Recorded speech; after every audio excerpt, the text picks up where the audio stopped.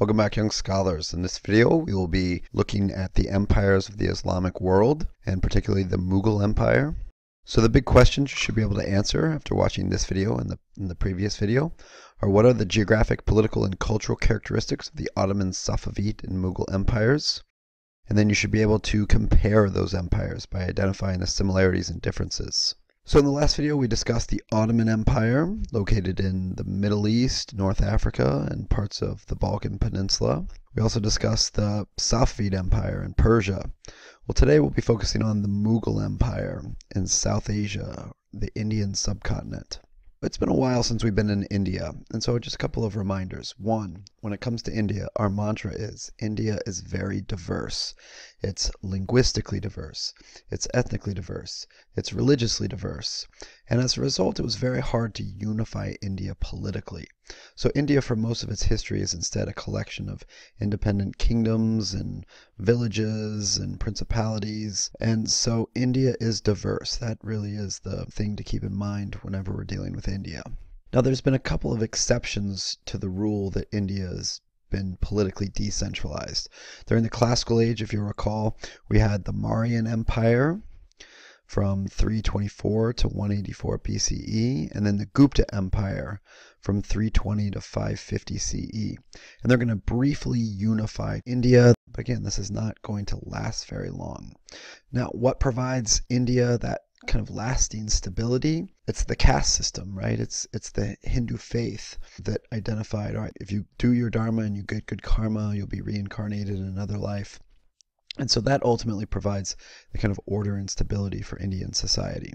In period three you may recall that Islam is spreading east, and ultimately it makes its way into the Indian subcontinent by way initially of the Ghaznavid Turks, who bring Islam to northern India, and then later the Delhi Sultanate. So the Delhi Sultanate established the model for India, where we have a Muslim minority ruling over a Hindu majority, and we are going to see that as well in period four with the Mughal Empire so the Mughal Empire lasted from 1526 to 1857. So it was an empire that was around throughout much of period 4 and then into period 5.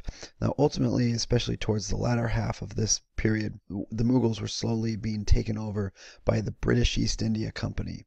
The empire will ultimately collapse when the British start taking over and ruling India following the Sepoy Rebellion in 1857. So the Mughal Empire again is in India, which is in South Asia. So the Mughal Empire served as a rare example of political unity in India. Again, the general rule is that India is very diverse, and as a result, it's very politically decentralized. So we have again the Muslim minority, much like in the Delhi Sultanate, ruling over a Hindu majority.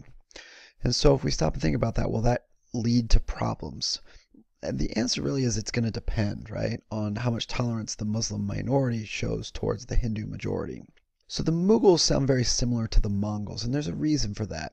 The Mughals are going to claim descent from Genghis Khan by way of Tamerlane, who's a subsequent leader, both responsible for the deaths of many, many people. So the Mughal Empire will trace their ancestry back to the Mongols, and also some Turkic groups as well. And so this is confusing, I think, for AP students because the, the Mughals claim ancestry from the Mongols.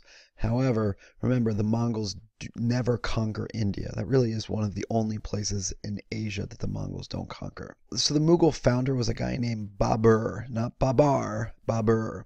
So Babur defeated the Delhi Sultanate, conquering northern India, and he uses gunpowder weapons to do so. And we're going to see this again as a major similarity in all of the, the empires of uh, the Islamic world in period four. The Ottomans, the Safavids, the Mughals all had access to gunpowder weapons, allowing them to expand. But again, this isn't anything really unique to the Islamic world because remember, other empires like the Spanish, like the Portuguese, like the Russians, all had gunpowder weapons that they were using in period four. So Babur is going to found the Mughal Empire but ultimately it's subsequent rulers that you need to be more familiar with, particularly two. So Akbar is going to centralize rule for the Mughal Empire between 1556 and 1605, and you can see in red here the location to which Akbar is going to spread. The Mughal ruler is known as an emperor, Below the emperor, we have these zamindars. These are localized princes. They're local leaders who control large territories. Now, as the emperor consolidates power in the Mughal Empire, that by definition kind of means the zamindars are going to lose power, right? So as we transition from a more decentralized world to a more centralized authority, that means that the zamindars, these wealthy landowners, will lose some of their power and status. And we're going to see this in a number of other societies as well in period 4 with a fluctuation of this class of elites. So the diminishing power of landowning zamindars occurs as power is increasingly concentrated in the hands of the emperor. Akbar was religiously tolerant. That's one of the things that he's really known for. He is going to bring together a number of different religious traditions and just bring them into a room and have discussions and conversations he is going to remove the jizya tax. Remember, in the Islamic world, there's oftentimes a tax on non Muslims. Well, he's going to get rid of that jizya and allow Hindus to practice Hinduism without having to pay a tax. And so, again, this is going to endear him with a lot of the Hindus. He's also going to promote, or maybe a better way to describe it is he's not going to oppress Sikhs. So there is a religious tradition that begins in the beginning of period four in India with the kind of blending together of Muslim and Hindu traditions. And those are two religions that, on first glance, don't necessarily seem like they could be easily combined together, right? You've got Islam, which is a incredibly monotheistic tradition. There is no God but God. Uh, versus in Hinduism, it is a polytheistic religion because there are multiple gods, but as you recall, all the gods are part of that one universal energy force, the Brahman. So Akbar eventually dies, and his grandson is another ruler named Aurangzeb. So Aurangzeb is going to expand the Mughal Empire into southern India. You can see here in pink where Aurangzeb expands. If Akbar is generally viewed as more tolerant, Aurangzeb is the opposite. He's going to reverse Akbar's policies of toleration, which means he's bringing back the jizya. He reestablishes the jizya tax on Hindus and Sikhs.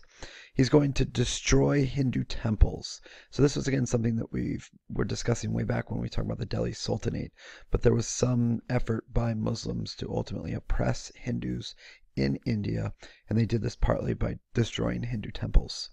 Now, these policies are going to lead to increased Hindu opposition movements as the Hindu majority becomes increasingly aware of their oppression by their Muslim minority rulers.